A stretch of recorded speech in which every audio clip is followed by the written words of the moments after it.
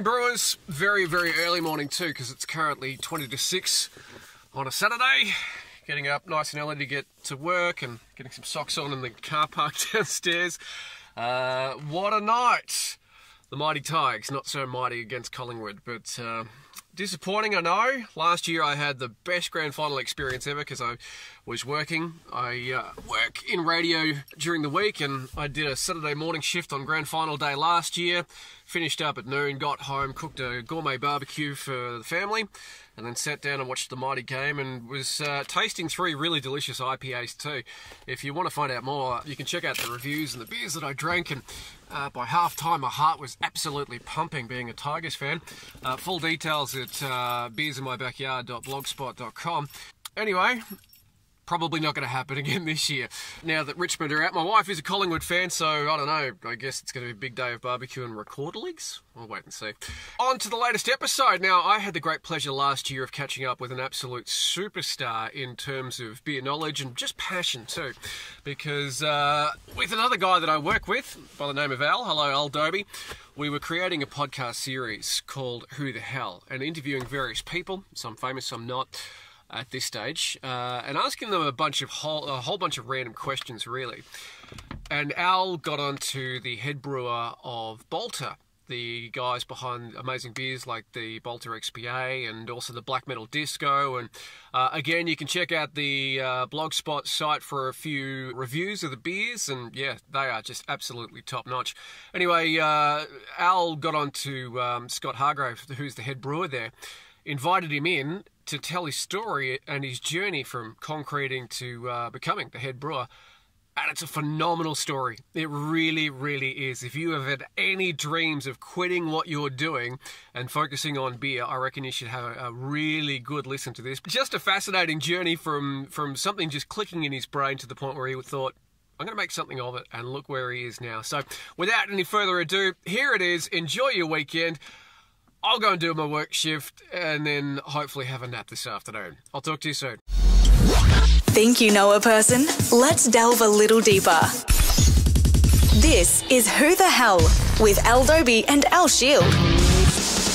This week, Al, a person who, well, we want to know more about. Who the hell is Scott Hargraves? A massive person of interest in our own world, Al, because Scott is involved in that wonderful world that you and I consume, being beer. Well, I think uh, as summer has hit us, beer is really important in everyone's and, and doing it responsibly. Just got to make sure we, we get that out there. But it's a uh, a brewery called Balter, and the story behind Balter is interesting itself. But Scott joins us now for Who the Hell. And Scott, take us back to the very start where you were living in Canberra. What what were you doing? G'day, fellas. Thanks for having me. Yeah, I was uh, I was a concrete contractor. I had my own concrete business with my wife, plugging away, making concrete, driving Bobcat, doing the do. Around about sort of 2000 or so, yeah, around about the, the start of the new century, I started to have a started to wander a bit. Like I'd always been a you know I'd been playing in bands and stuff, so I was a I'd used to drink Melbourne tinnies, basically. have them lined up across the Marshall when we're doing gigs or Herson or whatever. But I started to explore different flavours and different types of beers, you know, and it was it was very early on in the piece. So the Little Creatures Pale Ale had just come out, and it was I think it was still called Little Creatures Live then, and Chuck Hahn's um, uh, the Malt Shovel James Squire range had only just started to come out the very first of those beers. You know, and I was trying all these beers and then palming them off to my mates and, you know, sort of slap another uh, industrial lager junk they had in their hands. And, Here, try this, and just generally pestering people. Yeah. So that's when the bug bit. When you discovered this this alternate world to what you've been drinking. Yeah. What got you to the point where you said, you know, look, I've been concreting for quite some time now. I want to try something different. Yeah, well, I had, um, I think it was around March 2006. I went to um, an adult education course at the Wig and Pen in Canberra. So very in craft beer, Australian craft beer circles, very, uh, you know, much loved and well known um, uh, brew pub, basically right in the middle of Canberra. And um, the guy who owned the place was doing this half day adult education course on the history of brewing. So he got a couple of kilos of barley malt and wheat malt and, and put them together in a in a lunchbox esky basically and boiled a jug and put some hot water in and said this is a mash this Yeah. is how the beginnings of start beer, brewing. yeah. as soon as I actually s- smelt that mash um, yeah, something changed in my brain chemistry that was it like it just I'd never had anything to do with brewing apart from one or two attempts at a Cooper's kit, you know, with the goo.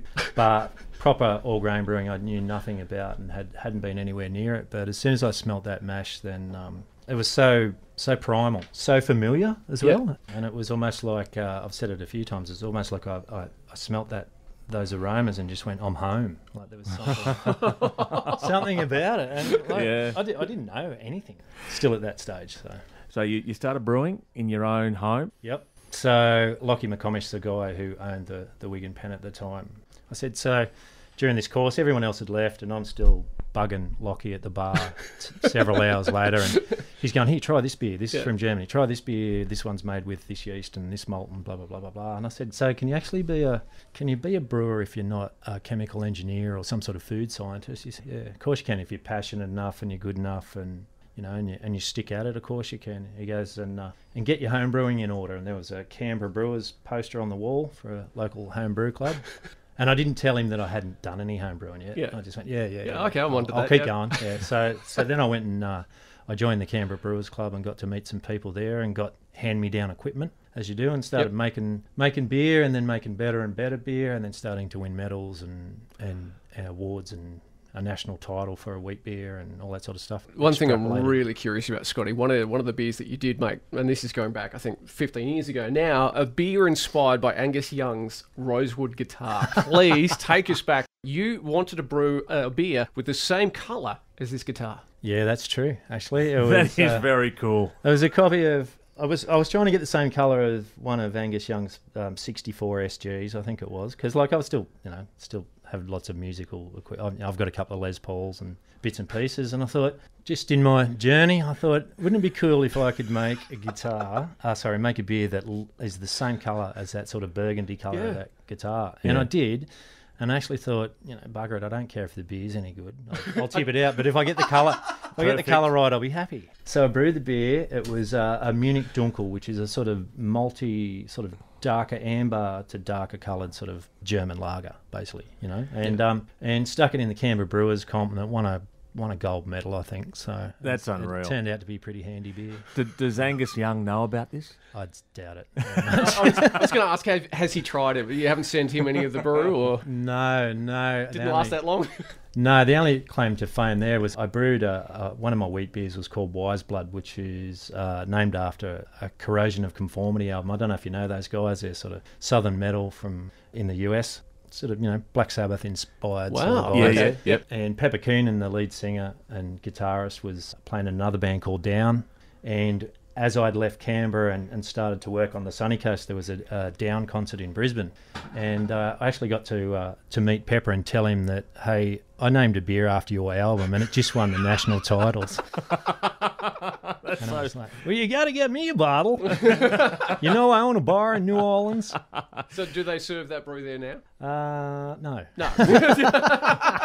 We're talking with Scott Hargraves, who's the uh, the head brewer of Balter Brewing, which is a, uh, a craft brewery on the Gold Coast. Now, when did it become a job for you when you were getting paid to brew beer? Uh, September 1, 2008, which I worked out was about 23 months after that first all grain beer that I made myself in my garage. So, so it was pretty quick. Like when I'd sort of decided, wow, I wonder if I could actually make a job out of this. You know, I, I'd come home from the Wig and Pen, and the next morning I'm lying in bed going, do I even dare to dream that I could actually do this for a living? And I sort of sort of didn't go there. But I just, you know, I started the home brewing thing and just got better and better. And and it, for me, it was about trying to hone my skills that I would actually be you know a, a candidate for a brewing job to get myself to that scale you know to that to that sort of proficiency and luckily enough that's that's what happened i'd i'd seen this ad for the sunshine coast brewery job and um at the time most of the most of the new craft breweries in, in australia were sort of popping up around in victoria and particularly in melbourne. I was sort of always looking south thinking saying to my wife if i get good enough at this and we actually get we have to be brave enough to take one of these jobs if i actually get offered one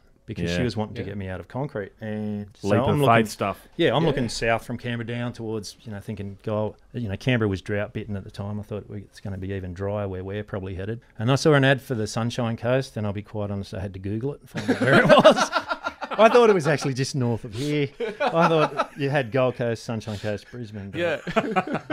Sorry, sorry about that, everybody up there. Um, so I said to my wife, "Wow, that's fifteen hundred k's away. Logistically, that's just no go. You know, Yeah. that's just silly." And she's turned around and goes, "Yeah, no, you ring him, ring him tomorrow." Wow. So the next morning, I'm in my bobcat digging out another driveway, and I started getting these texts from my wife. Have you rung those guys yet? Have you rung those guys yet? Have Yeah. you rung those guys yet? And I'm like, nope, nope, nope. Digging away, nope, nope, nope. Leave me alone. The last one that's uh, that afternoon, like that was about the twentieth one. It was don't effing come home until you've rung those guys. So my- Yeah. my, wife basically bullied me into it. You it. got to do what a wife says. Yeah, yeah, and um, yeah, I love her for it.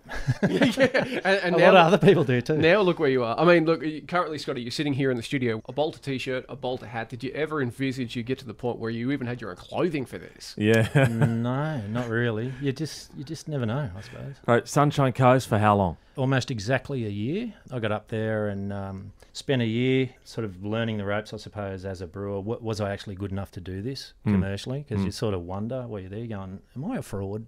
Blah, blah, blah. and uh, luckily enough, I won uh, the champion reduced alcohol category at the Australian International Beer Awards about six months in. And another one of my dark wheat beers uh, won a gold medal. So I sort of thought, yeah, I, I mightn't be too bad at this. You know, concrete may well be in the rear vision mirror for good now. Yeah. And um, bang on about a year into that job, I got asked to be um, Stone and Wood's first full time employee. So I went and did that for four years. That's amazing because Stone and Wood in the craft brewing world is an iconic Yeah. brand of beer Oh, yeah. And legends. They're great guys. and Byron Bay based. yep. So from Sunshine Coast down to Byron Bay, similar kind of lifestyle. Yeah, yeah. Back to New South Wales. I'm a New South Wales boy. So um, it was good to not get heckled so much during State of Origin. Always important, no matter where you work. yeah, it hasn't been good this last decade, has it? Really? So- no, it hasn't. You're right. You're no, right. You're right. But uh, yeah, so I went down to Stonewood. I was very fortunate to be able to, you know, to be in there so early on, and I got to um, learn a lot about the beer business itself with uh, with the guys who who started the business, the founders. Um, you know, who between them had Brad Ross and Jamie had like fifty something years, I think, of Australian brewing experience between them. So that was really really uh, attractive to me, you know, and I thought it was important, you know, to be able to, to go and work for and with guys like that, where uh, you know, I was able to learn not so much about the brewing side because I was I was sort of already getting pretty good at that, but but how the beer business actually works as well, how many other moving parts it, are to it. So Because it's not just the brewing side, of course. There's so much more to it. there's the marketing and mm. branding side of it, which is so important. You know, there's the logistics side of it, so important. It's all good if I make great beer, but if we can't get it to anybody, what's the point? Yeah, You no know. one's drinking it. Yeah, yeah. yeah. and when you were with Stone and Wood and you went to a pub or you went to a bottle shop and you saw it, did you kind of pinch yourself and go, "That I'm part of that. That's mine. I mine." made that. Yeah, yeah. Oh, definitely. The funny thing is now with Balter, people go, "Oh, I saw your beer in Mexico," or "I saw your beer in," you know, people, people, all people are sending me photos of people in Perth drinking it, Yep. and all over the place, you know. And I, I sort of, I guess, I'm so wrapped up and head down, bum up in getting this thing up and going with all my colleagues and that that yeah, I probably don't stop and smell the roses enough. But I love that everyone else does. You know? yeah, yeah, yeah. Everyone else Yeah, is everyone else is appreciating your, your hard work. Yeah. Okay, so from uh, Stone and Wood to where? Uh, so I, I did Stone and Wood for four years, and then I went uh, over to Byron Bay Brewing Company, and I spent 18 months there as head brewer there, and um, yeah, got to uh, get back to more a sort of brew pub style environment for a while, and uh, until the guys who were you know beginning to form Balter came calling, and So, which one of the legends phoned you? Was it Mick Fanning? Was it Joel Parkinson? was it Bede Durbridge? Was it Josh Kerr? Or was it the silent partner that isn't a surfer or of, of yeah, note? yeah, it, it was it was actually a guy called Sean Ronan who lives in San Diego. He's he's one of Josh Kerr's neighbours, and you know they're they're sort of very good friends. So Sean was was the four boys. This was basically Bede's idea. He wanted to start a brew pub or a brewery on Stradbroke on Straddie, but you know the other boys talked him around and said it's an island. You can't get stuff on or, on or off very easily. Yes.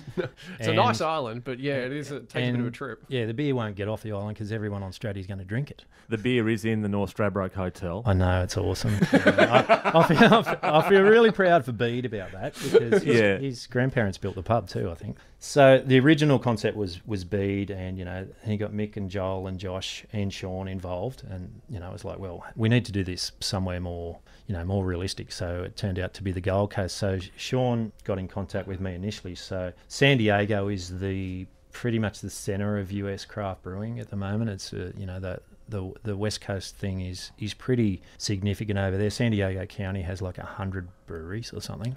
Yeah, it's insane. Wow. You know, and so to have this guy ringing from San Diego, FaceTime and going, "Do you want to start a brewery?" Yeah. And I'm like, oh, maybe. And I didn't know that the other guys are involved yet. And then it eventually got revealed that you know it was Mick and Joel and the other guys, and I kind of groaned.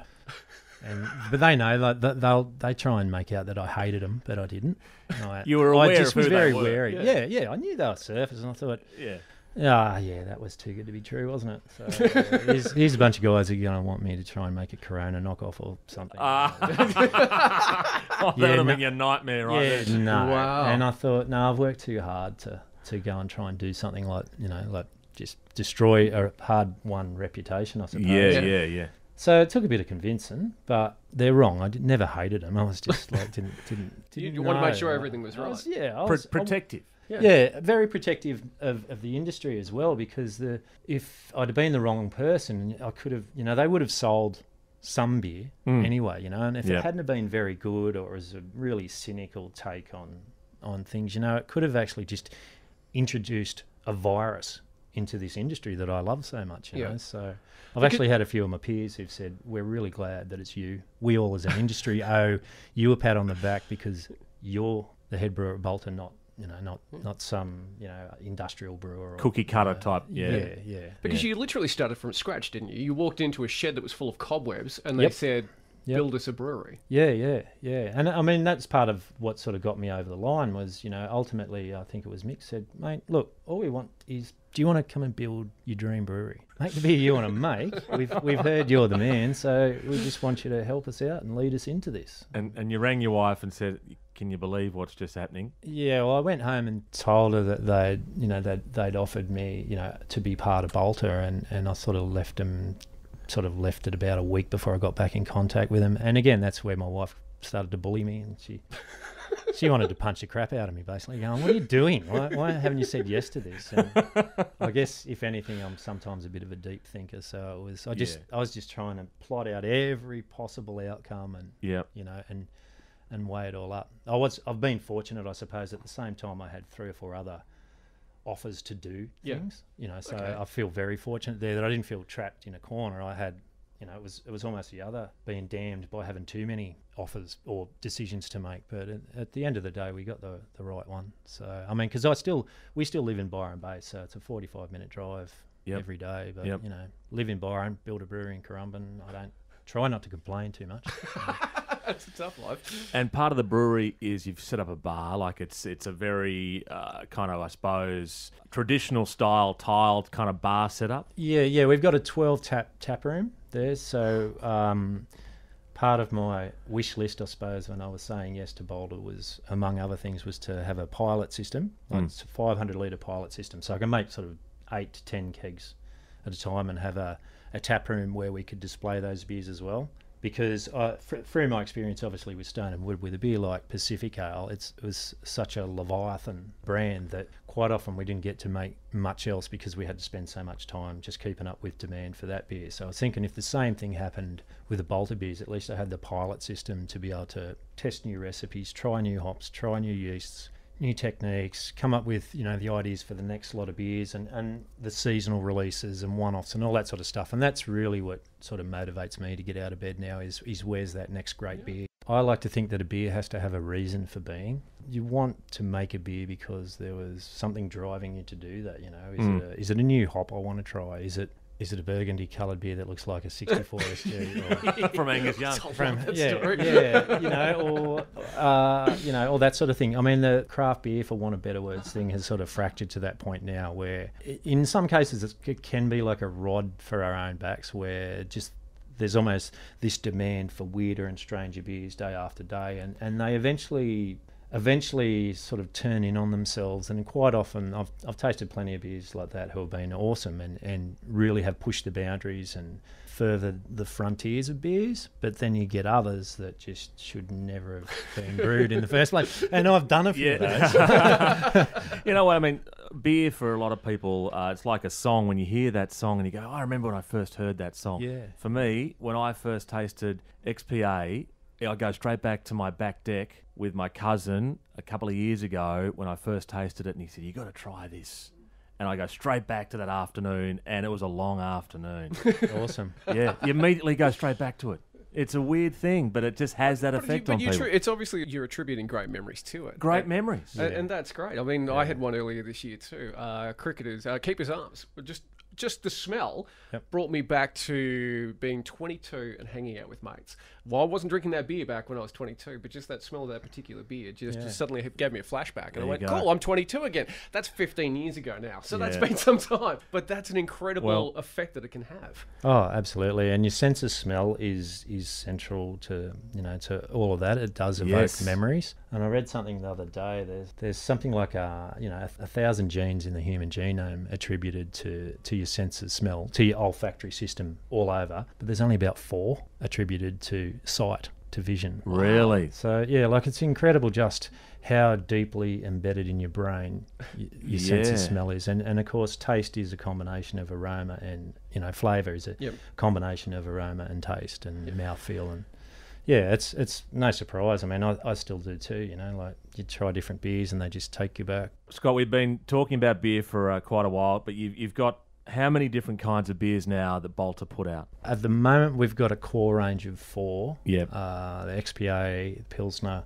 IPA, and Alt Brown. Yep. And we do seasonal releases. We did one earlier in the year called Black Metal Disco, I love that name. which is a stout. So I bought a four pack for you. I love Wow. that name. Yeah. so yeah, and and next year, like I've got a whole roster of seasonals and you know a couple of one-offs and also uh, some collaborations. Where um, we're very very fortunate that we're uh, uh, Australia's champion medium-sized brewery at the AIBA Awards last year, and champion small brewery was Green Beacon, the boys up at Are the up, guys up in behind Brisbane. Wayfarer? Yep, Johan and the crew up at uh, Green Beacon are the champion small brewery. We're champion medium brewery, and Stone and Wood is champion large brewery. So part of winning that this year at the Australian International Beer Awards is we all get together, sort of probably February, March next year, and collaborate and make a champions beer. So it's pretty cool that we're all fairly The brew of the beers. brewmasters. When, Yeah, yeah, when does that know. come out? And how do we Uh, find yeah, out probably about for May. It'll be ready for the next lot of beer awards. And what's it going to be called? And how do we find out about it?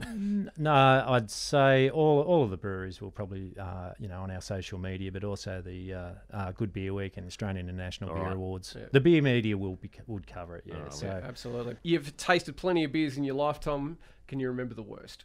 Um, gee, there's been a few, and I've I've probably brewed most. of them. Oh, see, that's the self-deprecation. No, yeah, I was going to say that's really nice. Yeah, I've, look, I have made a couple of shockers in my time, but that's the whole thing. I've got uh, I've got a, a garage at home where I've still got a 50 litre home brew system that's actually cobbled together out of a, a Gatorade, um, uh, you know, container. Uh, I like the ones that they use in the NFL. Yeah, the big round ones. Yeah. So it's that, and and also we, I boil the beer up and, and make the beer in uh, an old 1940s or 1950s Malley's wash copper, like Granny would he Yep. used to use. So it used to be a joke. I used to when I was at Stone and Wood, I'd make a bunch of beer at home for our Christmas parties, and and I'd put it in my 20 litre corny kegs. And, and put it in uh, one of the big yellow lidded recycled bins and about six bags of ice, and away we went. Because we've been making Pacific Ale all year. We didn't Yep. necessarily want to drink it, but the joke was always Stone and Wood Christmas party beer is made in a washing machine, served out of a garbage bin. And, and and the thing I love as well, I mean, we do live on the Gold Coast. We're lucky enough to be near the brewery, but you guys behind the bar, sometimes Mick and Joel will pop up, and you yourself will start pouring the beers. So yeah, absolutely. Yeah. absolutely. You know, beer is of the people, by Yeah. the people, for the people. It should be. you know. So yeah, when the boys, I mean, they're all sorry, they're all over at, uh, they're all uh, overseas in Hawaii at the moment. Probably the last time Bede'll surf over there. When they're back in town, you know, the boys are popping in usually. Obviously, they want to drink some beer. But for sure. Not just to But say they'll hi. get in, yeah, they'll Yeah. get in and uh, and give us a hand and help out. So Are you surprised with the growth? Because it has gone pretty Yeah. ballistic, hasn't it? Yes. When I first got to sit down and design the brewery, you know, it was like, what sort of size brew house are we going to have? And, you know, how much beer can we make a year? And even, again, part of the reason I wanted that pilot system was because I thought, wow, this this brew house is just going to be huge. We're going to be making an enormous amount of beer, and I hope we're not sitting on it too long. You know that we've got the ability to make a lot of beer and not sell it. But I was wrong almost immediately with that, which is great. You know, so, so it's kind of good to you know the, to have our supply chains are nice and short. You know, so we don't have beer sitting around very long, and particularly this time of year. We're, uh, we're making as much as we can, and there's almost nothing in the cold room every day Because it's going straight out onto trucks and straight out into uh, Wow. out into the trade and then hopefully straight home to people's fridges or off to their favourite pub or Yeah. whatever. So I mean it's it does blow my mind like living in Byron to to know that you know the beer's on at all the pubs in Byron and has been for a while. You know the Brunswick Hotel. Going further north, so many, you know, lots of places Yep. up here as well. You know, uh, right through Brisbane, Melbourne's always been really good. Sydney, Yep. Adelaide, Perth, like yeah, It's just- just gone off. yeah. Well, I'm going to Melbourne over Christmas, and I looked on the uh, the, the map. Where can I get it? I went onto the on the website. yeah, yeah. So just on the way down to where I'm going, there's a, a spot there. I'll pop in. Yeah, mate. Yeah, yeah. No, Melbourne's been very, very kind to us. Uh, They like what we do down there, so that's great. We started off by learning your journey, Scott, and, and the fact that you just you went to this amazing course, came highly recommended. You started picking the brains of everyone involved. Flash forward to now, are you the guy that people are picking the brains of? Uh, yeah, that happens a bit. I feel usually very sort of humbled and, and flattered that, that people care enough about my opinions to, to ring up other great professional brewers. You know, we'll do that. So it's that's the fraternal beauty of good beer, I suppose, in Australia at our level. You know, we're not throwing brickbats at each other. We're, we're helping each other out. out, You know, we have a common enemy, which is basically indifference or unawareness of, of all these great Australian brewers who are punching out in a lot of cases, you know, world class beer. What about uh, concreting advice? You still getting any calls for that? Or? Do you know, for up and it only stopped four or five years ago where I'd get phone calls going, "Oh, hello, Scotty, uh, you did my driveway about twelve years ago, and my my sister in law wants a house slab done. Um, do you reckon you can?" I'd be like, um, "Yeah, sorry, I I, Shifted I brew beer and I live in Byron Bay now. it must sound good to be able to say that. Good for you, jerk." Well, Scott Hargraves, the uh, the chief brewer of Balter Brewery, based on the Gold Coast here. Thank you. And who the hell is Scott Hargraves? Al, we now know. oh, and what a journey it's been to. Yeah, thanks for coming in, Scott, and No uh. Thanks, fellas. all the best for Christmas. Yeah, you too. Have a good one.